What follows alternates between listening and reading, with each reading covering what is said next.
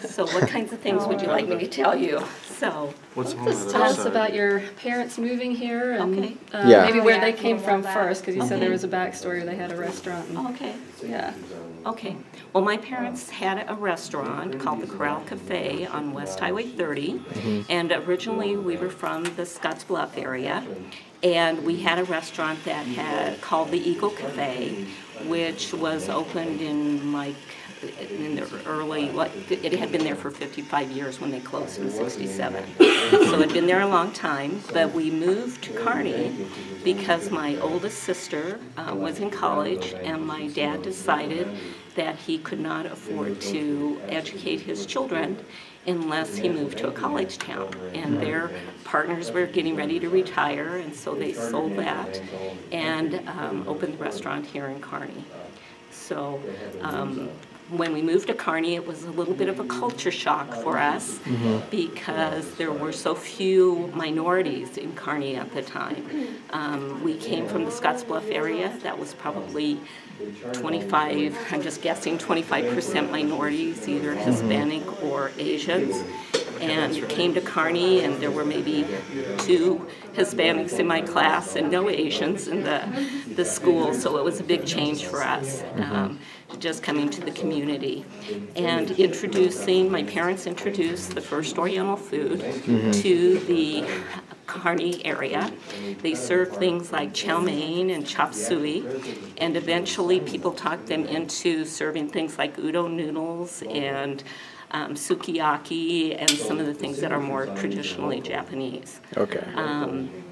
the Highway 30, at that time, the Interstate 80 had just opened, and so there wasn't as much business there, but they really developed a clientele from the college that were really good about supporting the restaurant and loved the fact that we had Oriental food.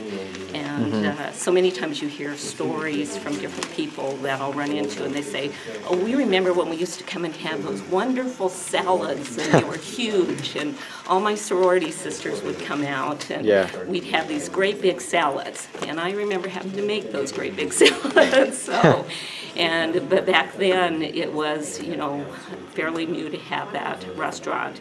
And Yeah. over the years, they were able to um, remodel and change things, and we um, had different events, and you end up, ha- we had a counter where single um, men or whoever wanted to could come and sit at the counter, and you just ended up having certain people that came almost every day. You know, I remember um, Mr. Hirschfeld, you know, uh, who used to come in and, and he ordered the same thing every day, and I remember Mr. Briggs from the college who would come and eat every day also, and um, my mom would make special pies for them if she knew something that they liked, and we had so many people from the motels that would also be there.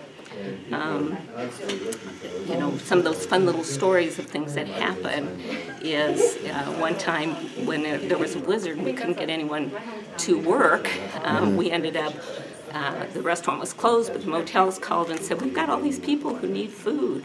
So we ended up closing or opening up our kitchen and just serving people buffet style so that we could um, accommodate their needs. So, and then there's just so many people that ate there over the years that you just have a lot of stories and fun things that you can talk about. So, Yeah. anyway, is that enough? That's that's okay. that's really interesting. Um, I, there were a lot of restaurants, and you know, the thing about restaurants is that you have certain people that are almost like your family. Yeah. Just because they, you know, come in all the time, and, mm-hmm. and my mom would do, treat them like family. Yeah. She tried to make the things that they liked, and um, you just saw them all the time. And so many times you, you grew up knowing people and their stories just because you saw them when they were young, and then you saw them as they got older. older and Yeah. And different couples that used to sneak into their what we called uh, a banquet room or side area. And but they were usually dating and so they they would want a quieter spot. And so there's just fun things like that that make it fun to be able to remember some of those stories so. But hopefully that's a, a little bit especially since i Yeah. wasn't prepared but So what side of town was this restaurant at? it was located right across the street from West Campus, where Okay. the old TB hospital was, and right directly across the street from them was like the Rodeo Trailer Court and the Hammer Motel. So we used to get a lot of people from the Hammer Motel and from um, the Shady Rest Motel and from St. John's um, and some of those places. So there was a lot of different places that um, patronized that Yeah. that restaurant. So, um, but it's it's fun to look back on that. And I remember having to wear hose and white uniforms, and we had aprons and little hats that you'd wear on Yeah. your head, and um, you know it's those old-fashioned restaurants and the things that they did.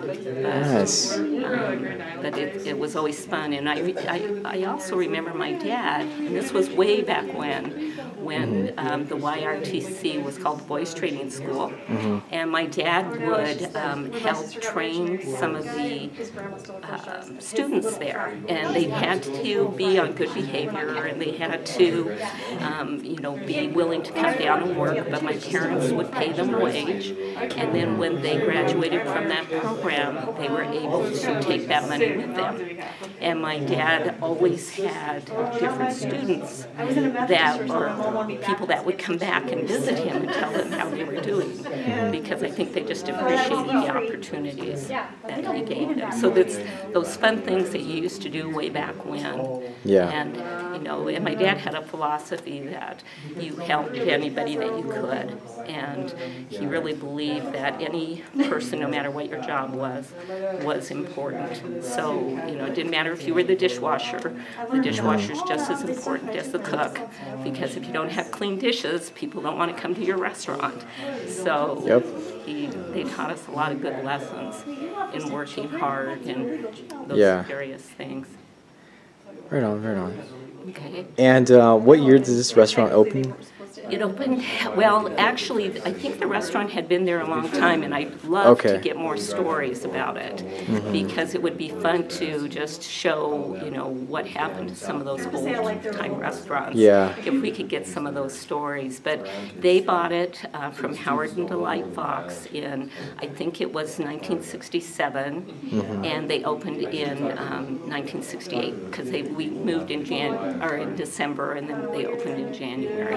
Okay. And then they basically sold the business back in 1983. So my mom had MS, and so for that reason, she um, had had further health issues and couldn't continue. But they were also of retirement age. Yeah. But she was one of those people that loved her restaurant and would go to work even when she was recovering from a bout and would use her walker and she'd be over there, you know, visiting with people and just making sure that their needs were taken care of. Yeah. So, Post office ad but- that Right on. okay. Hey, well, thank you. Yes. Thank you. That was that was really inter- inter- interesting, honestly. Okay. Um, all right. Well, that's it. Thank you. That sounds good. Thank you. So.